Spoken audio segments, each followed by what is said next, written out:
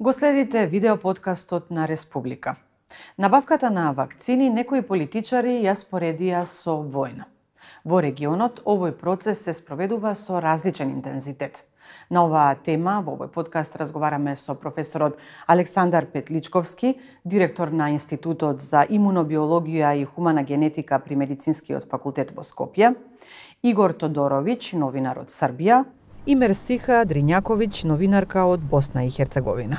Професоре Петличковски, вакцините се најефикасно оружје во борбата против коронавирусот. Имаше едно истражување според кое секој трет човек во Македонија има антитела. Колку луѓе би требало во оваа држава да се вакцинираат за да се постигне колективен имунитет?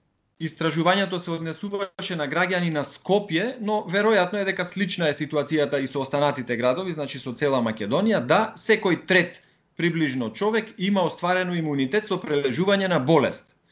На почеток на пандемијата, проекциите, предпоставките за колективниот имунитет се движеа за SARS-CoV-2 се движеа околу 60-70%. Како сега имаме доминација на овој позаразен сој на вирусот, британскиот сој, веројатно е дека прагот на за остварување на колективен имунитет е малку подигнат, значи околу 70 до 80% од населението треба да го има поминато, односно да има остварено имунитет, за да осетиме намалување на ширењето на инфекцијата. Тоа е релативно голема бројка, но е, например, помала од бројката која што одговара на остварување на колективен имунитет за морбили. Таа бројка е 95% од населението. Значи, околу 70 до 80% очекуваме население со имунитет, очекуваме сериозно да го успори ширењето на епидемијата. Господине Тодоровиќ, Србија е меѓу водечките земји во светот по бројот на вакцинирани луѓе. Но зошто ситуацијата повторно ескалира со толкав број на нови случаи на коронавирусот и починати лица? речи о томе да е вакцинисано до сад мање од 15% становништва и не можеме ни рачунати ни они кои су примили обе дозе да су заиста да су стекли имунитет затоа што на пример после после кинеске вакцине чини се да се имунитет и после друга доза гради још 2-3 недели, можда и више. Кажу да су болнице пуне луѓе кои су кои су били кои су вакцинисани, али мислим још увек е то премало да би овај да би направило озбилен помак. Ми сме имали највеќи пик пик е бил у новембру со 8000 случаева на дан, значи говориме о званични подацима, колико су они сад поуздани тоа е питање, али сада сме неге на око 5000, а тоа опет мање од тог пика. Ko зна што би било да не било вакцинација. Господја Дринјаковиќ, кој е проблемот во процесот на набавка на вакцини во Босна и Херцеговина и дали е грешката на властите што чека испорака на вакцини преку ковакс механизмот? nažalost, Majo, godinu dana evo nakon početka pandemije i nakon što je većina zemalja u svijetu još prije šest mjeseci kad se pojavile, kad su se pojavile prve vakcine krenula sa nabavkama u Bosni i Hercegovini zbog izuzetno komplikovane složenosti našeg sistema nastalog na Dejtonskog sporazumu i činjenice da nemamo Ministarstvo zdravstva, pa samim tim, na državnom nivou, pa samim tim ne možemo ni na tom najvišem vrhu da komuniciramo nabavku vakcina, mi ni do danas nismo zvanično uspjeli nabaviti vakcine koje bi došle putem na prirodnim putem kako su to radile ostale zemlje. Dakle, oslonili smo se na COVAX, u ovom trenutku smo imali i nekoliko donacija iz susjednih zemalja, Republika Srbija i Republika Slovenija su nam uputile neke donacije, potom je uslijedila posjeta kolektivnog šefa države Turskoj, pa smo i od njih dobili donaciju, što onako u očima javnosti ostavlja jako ružan okus u ustima, jer onda ne vjerujete svojim institucijama da mogu na pravi način da se pozabave problemom i da u principu očekuju da im neko drugi riješi sve ono što je na, nastalo kao posljedica pandemije koronavirusa. Profesore Petličkovski, можат ли луѓето да се заразат повторно и што после вакцинацијата? Теоретски е возможно да се случи реинфекција кај некој што поминал болест COVID-19, но реално и практично тие случаи се исклучително ретки.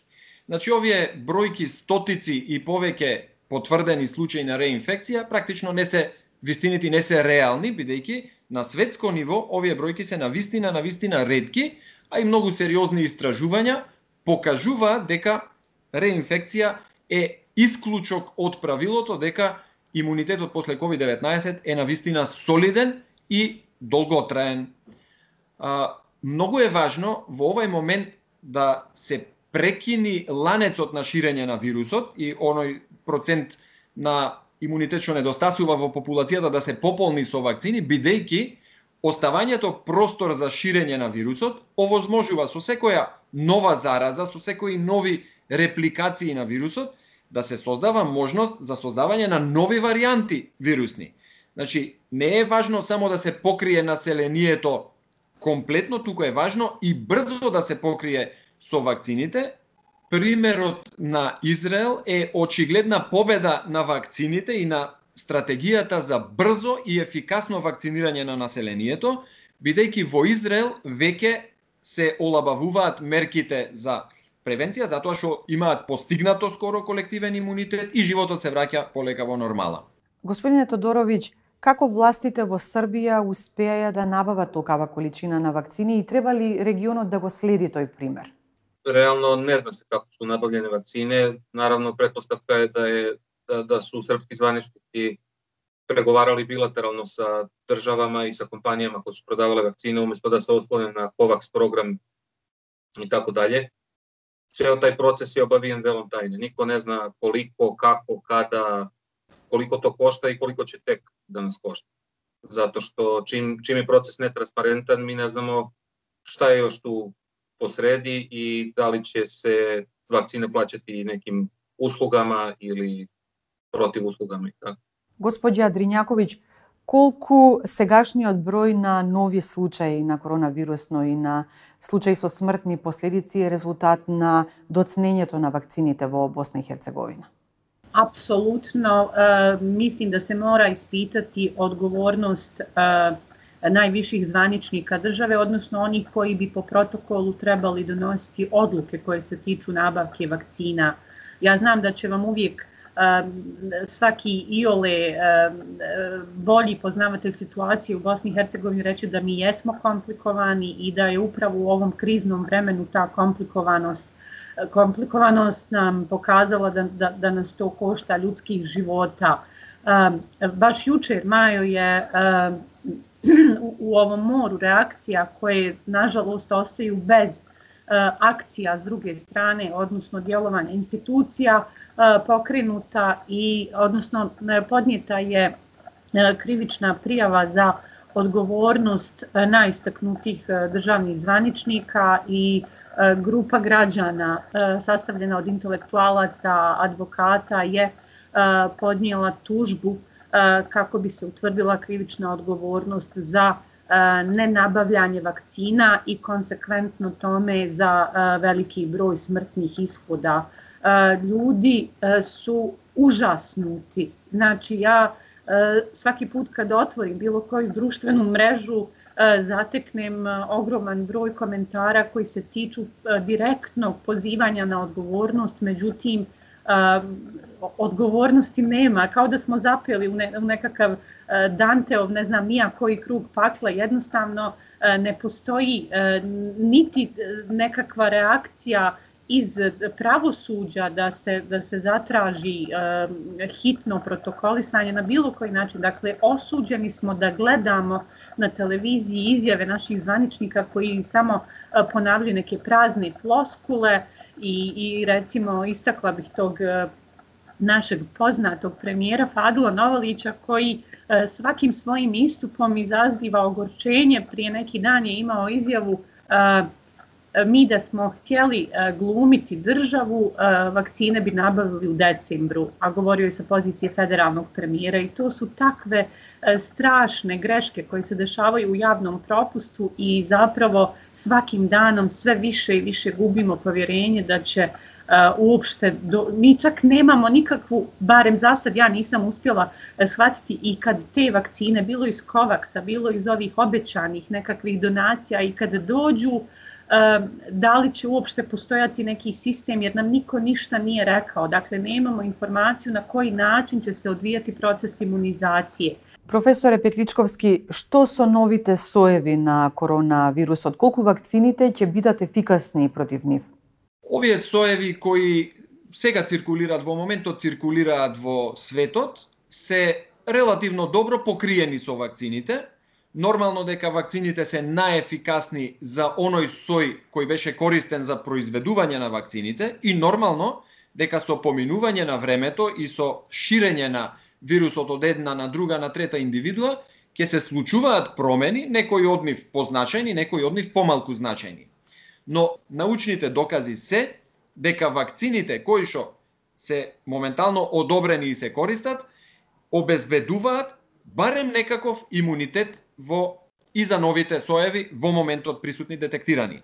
И уште нешто, целта на вакцинацијата не е да нема болест, да исчезне болеста. Целта е, и тоа е главната, главната постигната, главниот постигнат успех со вакцините, е болеста, ако евентуално се јави, да биде со полесен тек и да бидат исклучени смртни исходи.